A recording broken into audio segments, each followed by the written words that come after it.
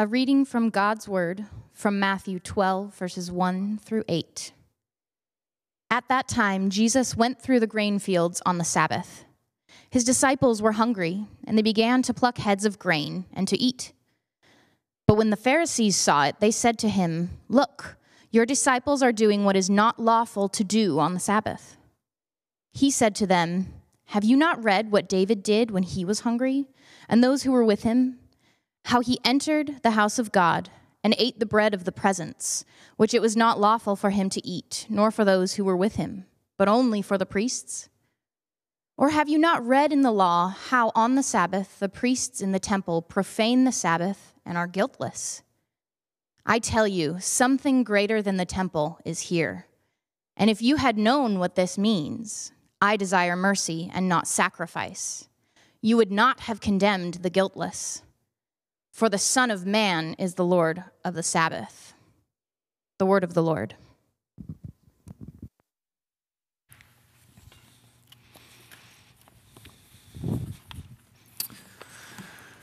Well, good morning, Calvary.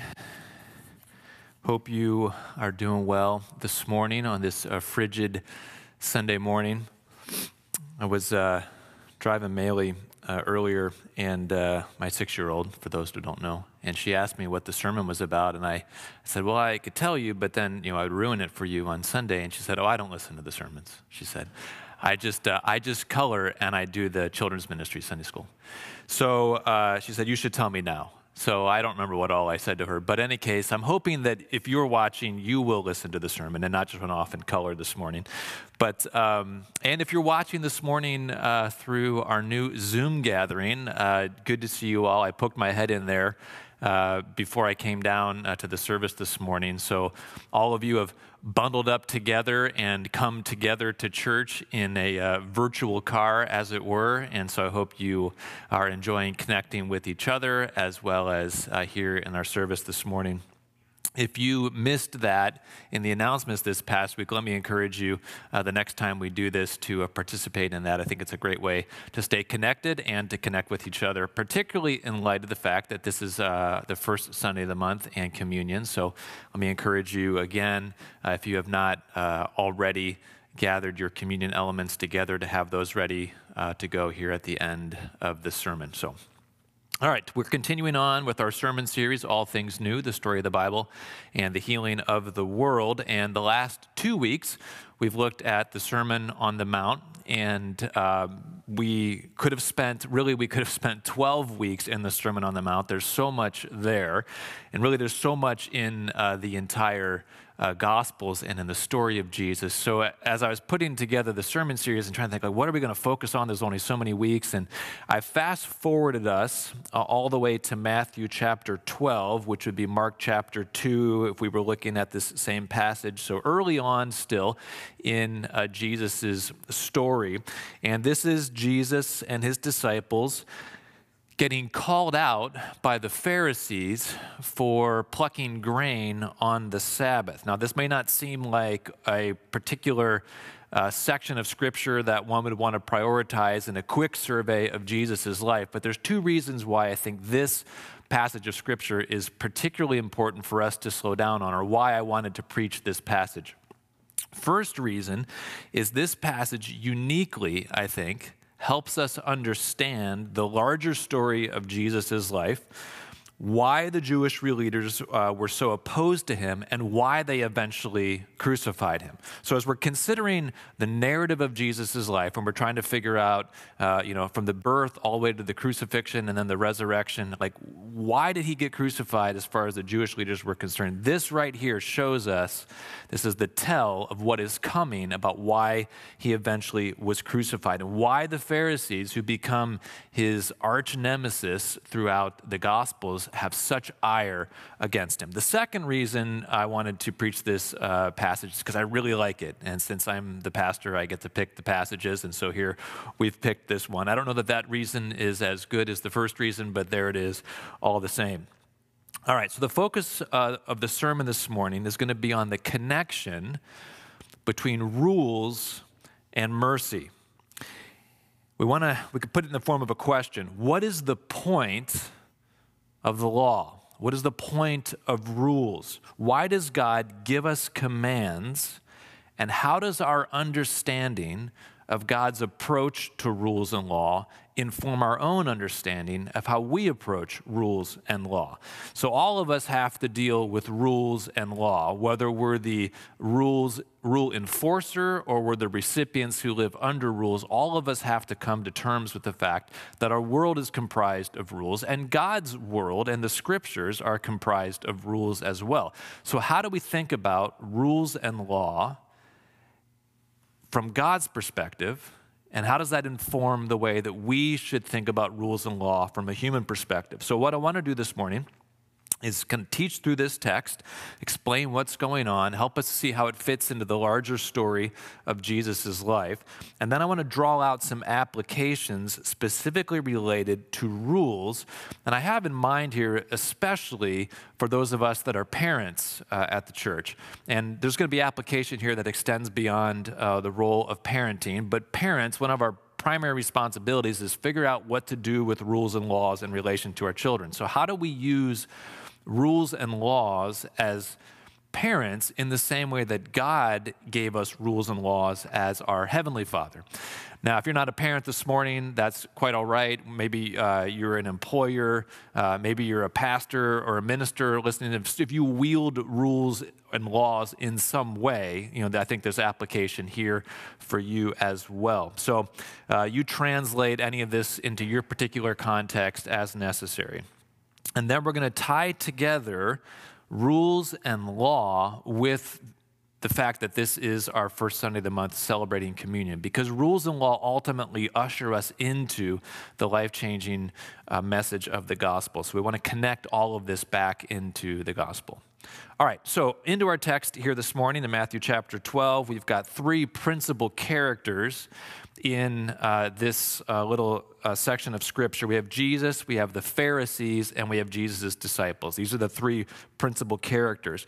And in 12:1, Jesus and his disciples are walking through the grain fields on a Sabbath day. They're going from here to there. We're not quite sure where they're going, uh, but they're walking through the grain fields on a Sabbath day. The disciples are hungry, and so they begin to pluck the, the heads of grain off of the stalks, and they're rubbing the, the, uh, the, the grain in their fingers, kind of getting rid of the chaff, and then they're eating the grain.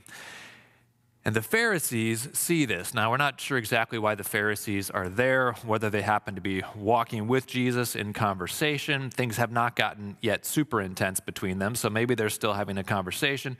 Or maybe they were on the outside of the field and they happen to see this looking in. For whatever the reason, the Pharisees see Jesus' disciples doing this and they throw the yellow flag the yellow card, I guess if this was soccer. And they say, unlawful, you've broken the rules. And they rebuke Jesus because Jesus, of course, is in charge of the Pharisees. So they go straight to Jesus and they say uh, to Jesus, You are letting your disciples do something that is not lawful on the Sabbath. Now, we've met the Pharisees a few weeks ago in the Sermon on the Mount. And I know that many of you, particularly if you've been around church for a long time or you've read through uh, the New Testament and Jesus' story quite a bit, you're familiar with the Pharisees. And in particular, they're concerned for rules. They are very zealous for rules, the Jewish law, in fact. But I know that some of you uh, maybe are not aware of all of this. Perhaps you're new to Christianity, or this just isn't something that you focused on in your Christian faith. Maybe you're still exploring Christianity, and so this is all new. And so I don't want to just rush past this because I think there's a lot of things that are assumed here in this text that I want us to make sure we really understand. So I'm going to do a brief refresher on the Pharisees and the Jewish law that they are very, very zealous for to help remind us why the Pharisees are so bothered here. Because we're going to see as this passage moves on that the Pharisees are really bothered here. Bothered enough, in fact, that right here in this context, they decide that they're going to kill Jesus. So, this is a decisive moment in the relationship between the Pharisees and Jesus. And I want us to understand why this is so intense for them. So let's rewind things a bit back into the story that we've been telling here for the past year or so. God gave the law through the prophet Moses to the Israelites at the very beginning of their national identity. So, all the way back into Exodus 19, the Israelites have just come out of the land of Egypt. They're being formed as a nation. And so, God gives them a law. And the Israelites considered this law fundamentally as a great gift. This is something that God had given to them because He loved them. And it was going to help them know how to live. All the nations of the world were wandering in darkness. They didn't know what God wanted for them. But here God had called out a people for Himself and He had given them the law. And the law was a guide for them in this world of darkness. So the psalmist in Psalm 119 refers to the law as a lamp. It's a lamp for our feet. So, have you ever been out wandering in the woods at night, right? You're stumbling over tree branches and roots and you can't find the path. That's what it was like living in the world without any word from God. And so, the, the people of Israel were very happy to receive this law from God that was like a lamp to their feet, that told them where to step, where not to step, how to stay out of the ditches or not bump into trees. The law was seen fundamentally as a good thing. And the law included civil regulations about how the nation should be organized and kind of its politics. It included ceremonial and religious regulations about how they were to approach worship of God. And then it included moral regulations about how they were to behave. All right, so the law promised blessings for obedience and warned of punishments for disobedience. This is something that we looked at uh, all throughout our story after the law was given. If Israel uh, disobeyed the law of God, God would then send prophets to warn them. And then, if they continued disobeying, God would begin to bring punishments upon them, to bring them back into, the, into line and observing the law. And if they continued to disregard the law of God in disobedience, the final and great curse of the law would be expulsion from the land. They would be kicked out of the land. Well, sure enough, that is, as we saw, Israel's story. They disregard the law. They don't take it seriously. They ignore it. They go their own way. God gives them the lamp and they just throw it over their shoulder and they're bumping into trees and they're making a mess of themselves out there in the darkness of the woods. And so finally, after ignoring and ignoring and ignoring God, God banishes them from the land and sends them out into the land of a captivity. In particular, their idolatry became so problematic. Well, they're in captivity for 70 years, and during this time, they learn their lesson. They had a 70 year timeout. God brings them back into the land, and they turn a new corner. No more idolatry. They are done with idolatry. And so there's going to be no more laxity on following the rules. So between the close of the Old Testament, where God has brought them back and they've now sobered up and they realize they got to pay attention to the law. And the opening of the New Testaments, that's where the Pharisees emerge. So the Pharisees emerge probably about 160 BC, so about 200 years before the time of Christ, as we're looking at now in Jesus' life, somewhere in and around 30 AD. The Pharisees have been around for about 200 years. And by the time of Jesus, the Pharisees have become the professional rule keepers. And they saw it as their duty to make sure that the nation of Israel adhered and took seriously the law so that they did not end up back in captivity. And they took their job very seriously. And one commentator who I was reading this week, he referred to the Pharisees as the serious. And I think that's a great way to capture the spirit of the Pharisees. They're very serious about adherence to the law. I was listening to a uh, financial uh, planner consultant, and he was talking about the importance of having an emergency fund. And he was saying, you know, you need to have an emergency fund. It's just, it keeps you safe. And if bad things happen, you're like ready with that emergency fund.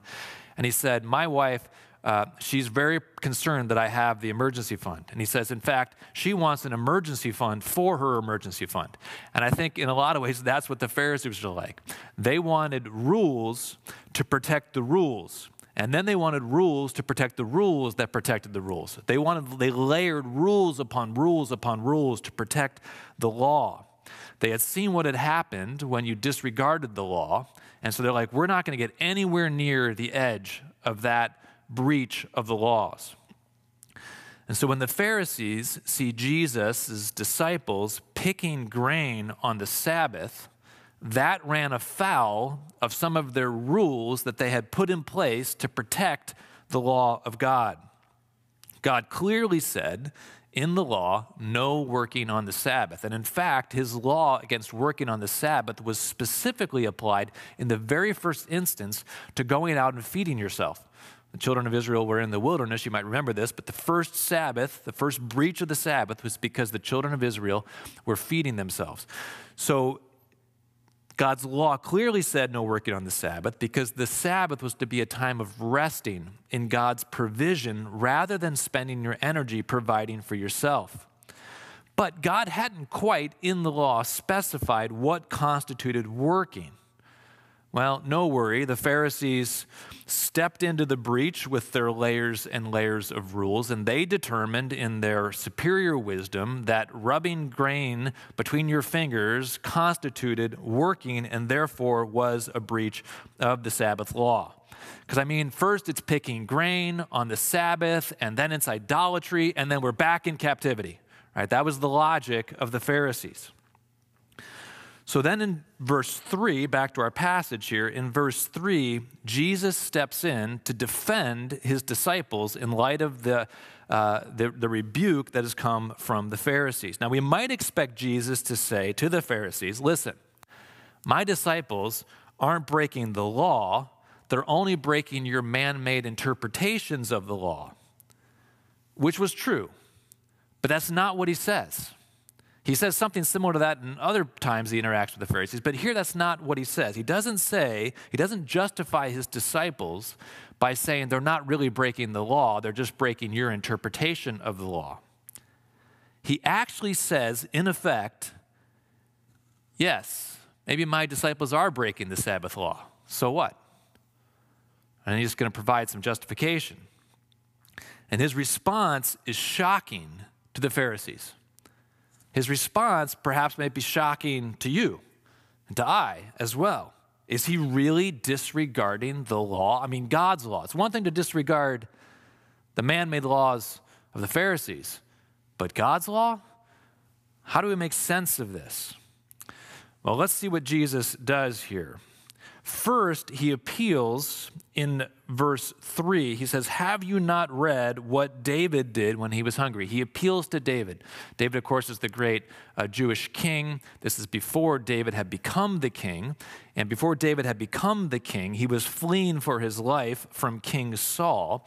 And so in 1 Samuel 21, the passage that Jesus is referring to, David flees for his life from King Saul. He has to leave so fast that he has no food with him. And so he's in a hurry, he's, he's hungry, and he comes to the priests at Nob and he asks them for food. But the only food that is available is the holy bread from the sanctuary which the law of God in Leviticus 24 9 specifically states is not to be eaten by anyone except the priests who minister in God's presence. But the priest, in breach of that law in Leviticus 24 9, gives David the bread, and David takes it knowingly knowing this is the showbread, the holy bread of the presence, and he eats it and he shares some with his companions which is to say, David did something unlawful. This wasn't a breach of some Pharisaical rule to protect the laws, this was a breach of the law itself. And then in verse 5, Jesus ups the ante. Not only did David break the law, but the priests break the law every Sabbath when they work in the temple on the Sabbaths in performing their ministers, their ministries and their duties and their sacrifices. The law technically forbids work or labor on the Sabbath. And yet, every Sabbath, Jesus says, the priests serving in the temple profane, this is an interesting word that he picks because it's going back to the Sabbath law, this word profane. They profane the Sabbath by working on the Sabbath. And then look what he says in relation to the priests who work, who profane the Sabbath. He says they're guiltless. So the priests are breaching the Sabbath law, but are not condemned as guilty. David breached the sanctuary laws, but wasn't condemned as guilty. So, what does all this mean? When we get to verse 7. If you had known, Jesus says, what this means, you would not have condemned the guiltless. Well, what is the this he's talking about? It's a quote from Hosea 6 6, where God says to the Israelites, I desire mercy, not sacrifice. In Hosea, the people are coming back. This is they're coming back from the land, right? They're com- or they're coming back to the land from captivity, and they're trying to clean up their act. And they're cleaning up their act on the outside, as it were. But God says, I'm not interested in the external obedience that is shown and demonstrated through the sacrificial system. I desire mercy, not sacrifice. God was interested in not just right behavior, he was interested in a right heart. So Jesus' rebuttal of the Pharisees goes deeper than you've added too many man made rules to the top of God's rules. His rebuttal, more fundamentally, is you have completely missed the point of the law. Think back to Psalm 119. I just mentioned it earlier, but the law was given as a lamp, as a guide. Think about how a lamp works. Have you ever seen, you know, the old shows where someone is, is carrying the lamp, right? When you carry a lamp in the darkness, whether it's in the house or out in the woods, you carry the lamp a little bit off to the side, right? Because it shines its light out in front of you. You don't carry the lamp right here. If you carried the lamp right here, right in front of your face, you wouldn't see anything. The, the light from the lamp would just shine right back in your eyes and would actually blind you to what you were trying to see. The whole point of the lamp would be, would be, would be broken if you carried it in front of you. You have to carry it off to the side. The function of the lamp was to show the obstacles in the path, it was to show where the places of danger might be. Right? And in order to do that, you couldn't be blinded by the lamp. But the Pharisees had turned the lamp of the law into like high beam headlights that were pointed straight back in the faces of the Israelites. The law in the hands of the Pharisees was no longer a friend, it was no longer an aid, it was no longer a guide or a support. It was a blinding power that had frozen Israel in fear. The Pharisees, God bless them, they had started out back in 160 BC with the best of intentions, determined to take the law of God seriously. And, they, and, and Israel hadn't been taking the law seriously. So we could understand why we needed some people to step into that space and say, we got to start paying attention to the law. But in climbing out of the libertine ditch that Israel had fallen into, they got to the top of the road, went right past it, and they fell into the ditch of legalism on the other side. Somewhere along the way, they had forgotten that God's intent in giving the law was mercy. David had been destitute, in need of food. He needed mercy. The priest worked every Sabbath in the temple to minister the mercy of God to the people. And all of that was consistent with the spirit of a law of mercy, even if not the letter of the law. So Jesus is saying, You Pharisees have taken the vehicle of God's mercy and have turned it into a source of stumbling, a hammer of judgment. In your zeal to uphold the letter of the law, you have missed the spirit of the law. And now we get to verse 8 and why the Pharisees became determined to crucify Jesus. Look what Jesus says in verse 8. He says, For the Son of Man is Lord of the Sabbath. To be Lord of the Sabbath was to be Lord of the law. The most important of the law's regulations, particularly in this time in Israel's history, was the Sabbath. So to be Lord of the Sabbath was to be Lord of the law. Jesus is saying, I am above the law. I am the author and the Lord of the law. The law does not stand above me as my master, but it bows before me and ministers to me as my servant. So Jesus is like, You're throwing the yellow card on me for breaking the Sabbath. I'm the Lord of the Sabbath. I'm throwing the yellow card on you. And what's more, my disciples are with me. They're like the hungry David with the holy bread like the merciful priests in the temple. They live like I do, beyond and above the letter of the law. into the true and merciful intent of the law. The whole self understanding of the Pharisees was founded on the law. They had become masters of the law. And then they used their mastery of the law to master the people of Israel. For Jesus to say that he not only stood outside of the law, but above the law, that he was the Lord of the law, it was sacrilege. And then for him to garner a following in which the people that belonged to him came to see themselves as likewise beyond and above the law. It was intolerable. Jesus' approach to the law stripped the Pharisees of their power and their moral authority over the people.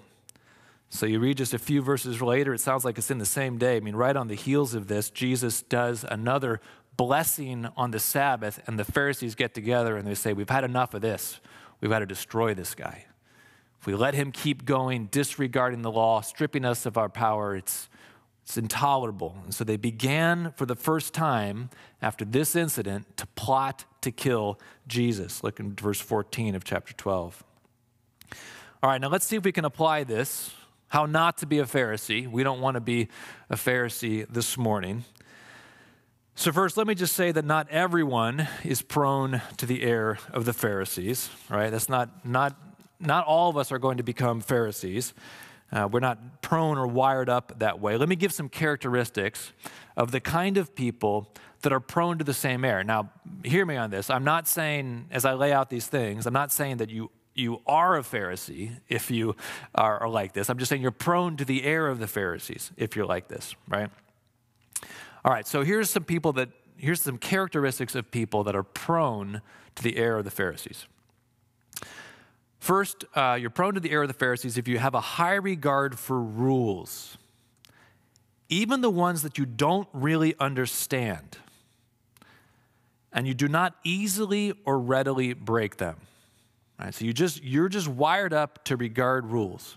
Right? You're the kind of person that at three in the morning in a small small rural town, you will sit and obey the red light, even though there's no one around, because that's the rule. That's what you do right? And if and if everyone out just doing driving their own way, it'd be chaos, right? So you follow the rules, even the rules that don't seem to make sense, you just follow rules.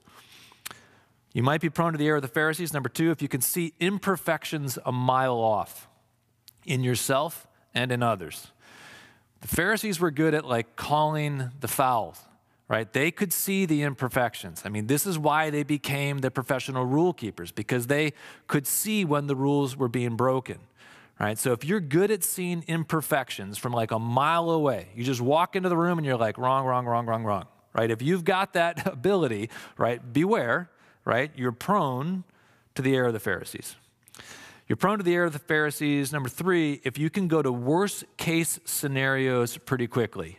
Right? This is what the Pharisees are doing. They see, you know, they see the rubbing of the grain between the fingers of the disciples, and they're like, we're heading to captivity right? Like if we let this keep going, where does it stop? I remember one time we were trying to get our oldest to do his homework in third grade.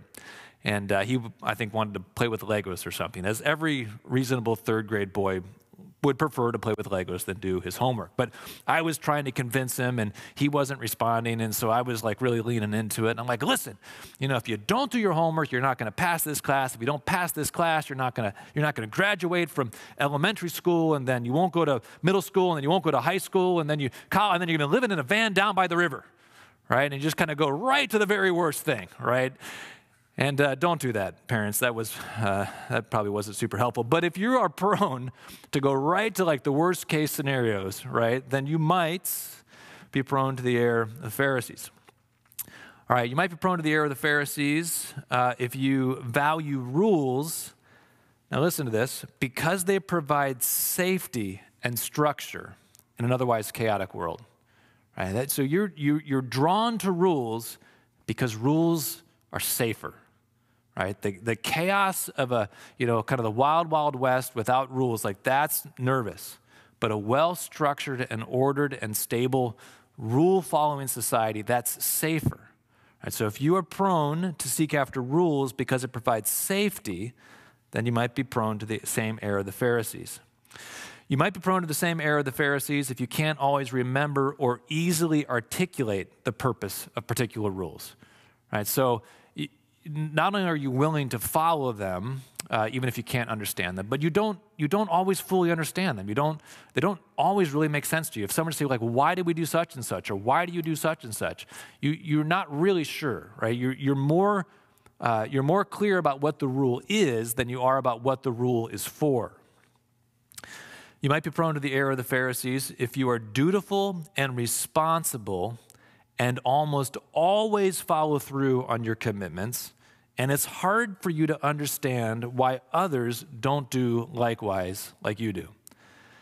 Think about the Pharisees. I mean, the Pharisees, they were dutiful and responsible. Say what you will about all of their shortcomings, and they had many shortcomings right? But they were dutiful and responsible. They had a lot of self control, they had a lot of self discipline. They followed through on their commitments, right? They did what they were supposed to do.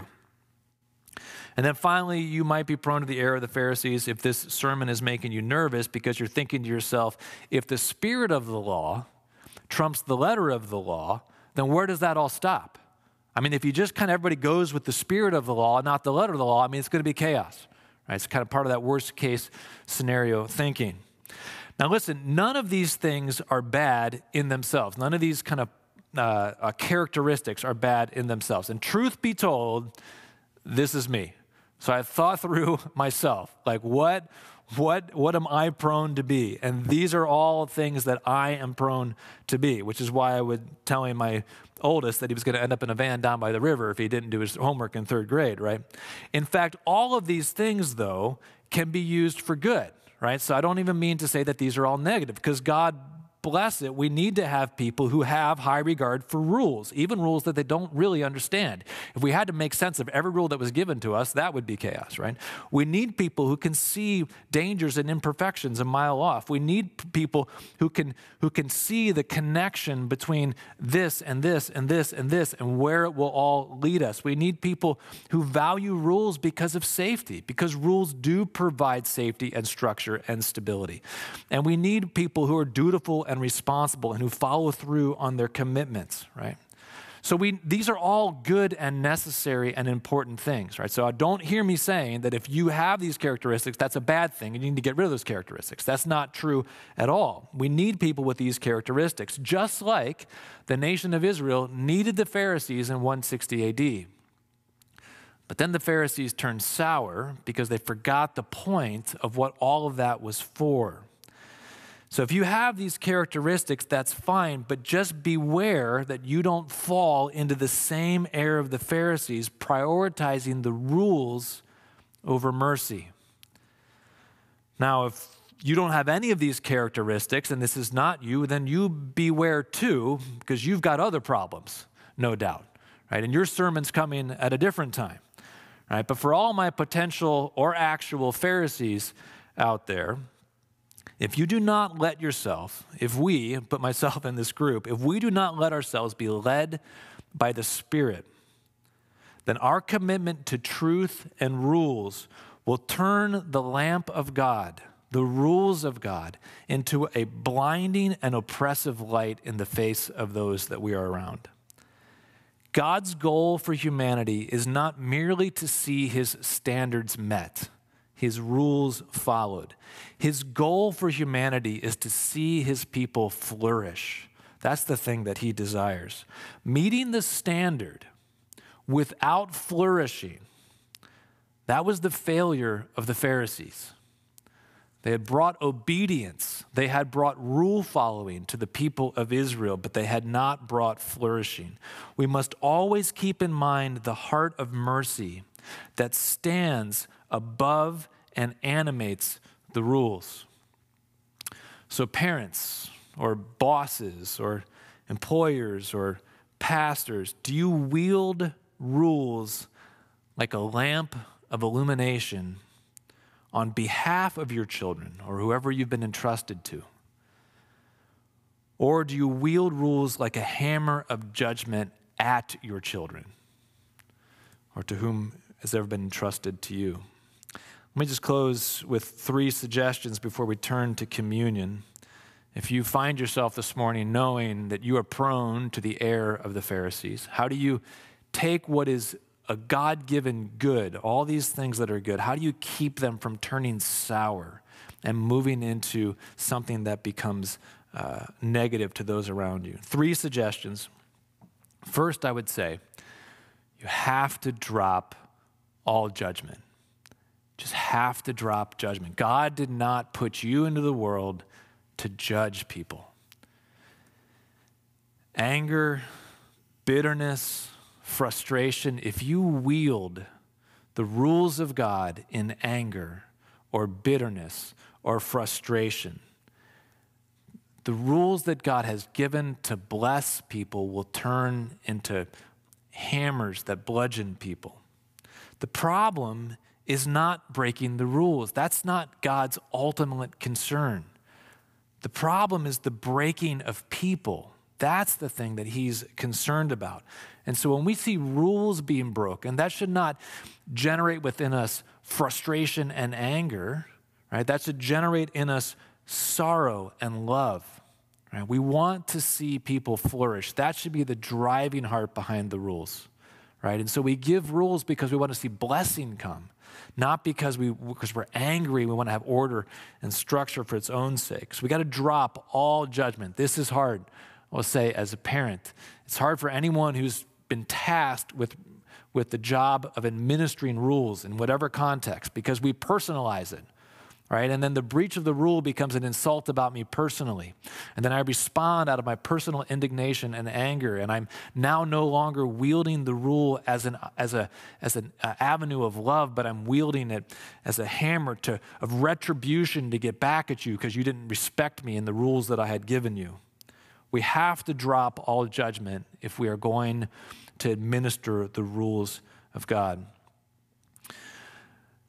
Another a suggestion, if you're prone to the error of the Pharisees, how do you take the, the good part of the Pharisees and not let it become, how do you, how do you be the Pharisees of 160 BC and not become the Pharisees of 30 AD? Drop all judgment. Secondly, take circumstances into account. This is what the Pharisees did not do. Right? They were brittle in their application of the rules and the laws. If you think back to our sermon series, you might remember when Solomon was appealing to God as the great lawgiver at the dedication of the temple in 1 Kings chapter 8. Solomon appealed to God as judge, as merciful, precisely because God takes circumstances into account. So if you apply the rules and the law of God, but you ignore the circumstances, you're going to do it in a bludgeoning and unhelpful way. I think when we want to take circumstances into account, I think it can be really helpful to ask genuine questions and to be willing to listen. If there's a breach of the rule, ask yourself, why has this rule been breached? And if the only answer you have is because people are rotten and sinful, well, then you haven't asked well enough. You haven't listened well enough. It might be true that people are rotten and sinful at times, right? But that might not be the only reason going on as to why the rule is being broken. So take circumstances into account. And then finally, and I think this is the biggest thing here, we just have to trust God. If you are prone to the error of the Pharisees, how do you keep those good impulses from turning bad? You have to live a life of faith and trust in God. What drives legalism is fear. Fear is what drives legalism. When we see things start to spiral out of control, when we fear being exiled from the land and sent back into captivity, we, we begin to, to clamp down harder and harder on the rules because we're trying to get our safety from adherence to the rules. And so it's our fear that drives our legalism in the lives of others. And fear drives it even in our own lives. But what would it look like if the Pharisees had been at rest and at peace and trust in God? And they had held forth the law of God in love as a, as a blessing and a guide to the people. Not because they were terrified and afraid, but because they trusted God and were certain that He had given this law for the betterment of the people. We have to trust and rest in God's love for us and his provision in our life. So, parents, as you're thinking about the rules that you bring to your children or employers or beyond, we do need to bring rules for our children. We do need to bring rules for our offices. Politicians need to bring rules for the lands that we live in. Right, but parents, if we are bringing rules out of a place of fear, it will not be a blessing to our children. We need to bring rules out of a posture of love and confidence in who God is in our lives. All right, well, that brings us to communion, speaking of who God is in our lives. Jesus says to the Pharisees that he is the Lord of the law, that he's above the law. And he says that those who are with him are likewise above the law. Some of you, my rule following friends, you might be saying, but is that really what Jesus means? That we are above and beyond the law? Wouldn't that lead to just chaos and anarchy? Don't we mere creatures still need God's law to guide us and direct us? St. Augustine taught that the perfectly redeemed man who truly and wholly loves God can do whatever he pleases because what pleases him above all will be honoring God above all. I think there's a lot of insight there. Perfectly redeemed people do not need a written external law from God. Imagine that one day, just imagine this. Imagine that one day, rather than God writing his holy rules externally on a scroll or in a book, imagine, just imagine that somehow those holy rules became a living Holy Spirit. And the spirit of those rules entered into us, into our hearts, and became one with us. So much so that our innate impulses reflexively followed after God's heart. And imagine that we became so one with those rules, so happily and willingly under the sway of the spirit of those rules, so filled up with God's purposes and priorities, so immersed in the light of His wisdom, that God's rules were no longer carried in our hands externally like a lamp, but that we ourselves became the lamps the light of God's rules emanating out from us, just like Jesus said. Imagine that the words of the prophet Jeremiah really did come true one day, and that a day arrived when it was no longer necessary to teach the children of God the rules of God because God's rules were written on the hearts of God's people by the Spirit of God. I mean, just imagine that that were true one day. Just believe that that is going to be true one day. That's what Jesus is making his people into. Even now, through the gift of the Holy Spirit, the rules of God placed inside of us in our hearts is making us into little Christs, people who are becoming so one with the true intent of God's merciful law that we will one day no longer need external written laws and rules. In that day, our greatest pleasure and unchecked capacity will be to love God and to love God and love others above all else. Now, we're not there yet. The Apostle Paul said of himself when he wrote in Philippians 3. I'm not there yet, he said. I'm pressing hold to take hold of that for which Jesus has taken hold of me. We still need the written rules of God. We still need this book, the things that God has said to us there. But it's in the hope of that imagined day that we are celebrating communion this morning. The hope of becoming one with the merciful law of God that is personified truly and really in Jesus himself. This great hope has come to us because of God's mercy that has been extended to us in Christ. God, when the rules were being broken, he didn't get so hung up on the rules that he forgot about the point of the rules. The point of the rules was mercy. And the living law of God in the person of Jesus let himself be judged by his own law in order to free us from his judgment. In becoming one with us, he placed himself under the law that we had broken. Not like David in great need, not like the priests ministering God's mercy in the temple, but like the idolatrous Israelites of old, who not only broke the letter of the law, but they trampled down underfoot the spirit of the law.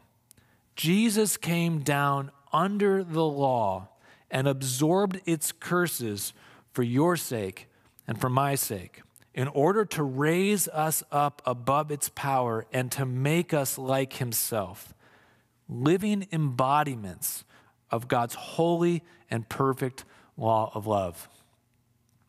So here we come to the table this morning. And if you have had the Spirit of God, the rules of God, the law of God written upon your heart, and its script is getting deeper and deeper into your life because God has promised it to be so. If you have trusted in Christ for salvation, then this table that we celebrate this morning together as a church family, this table is for you. Right? This, this is a reminder, this is a reminder that we have the hope of resurrection to come in our union with Christ, that He is making us little Christs, that He is making us all that He Himself is. If you're not a believer this morning, then I ask that you not participate here in this moment, but to observe and to reflect upon the invitation that Jesus extends to you and the sacrifice that he has given on your behalf. Maybe maybe you want to become a Christian. Even this morning you want to become a Christian. Jesus stands holding out an invitation to you. He will welcome you. He will write his law upon your heart by the Spirit. He will forgive you of all that you have done in breaking not only the letter of the law, but the spirit of the law. Perhaps, if that's your heart this morning, you could pray even something like this Lord Jesus, I haven't been the rule follower I should be. I've either ignored your rules or I've used them to judge others. I haven't kept the law's letter, much less its spirit. I can't be what I should be without you. Come into my life and make me your own. Thank you for your great sacrifice of mercy upon the cross on my behalf. Forgive me for all my failures, past, present, and future, and fill me with your Holy Spirit so I can walk in the newness of life. If you extend that prayer out to God in faith, He receives you, is His promise. So even now, as I distribute the elements here to the worship team or folks at home are preparing them, I encourage you, if you're not a believer this morning, to reflect on the invitation that God extends to you through Christ, to become one with Him who will write His law upon your heart.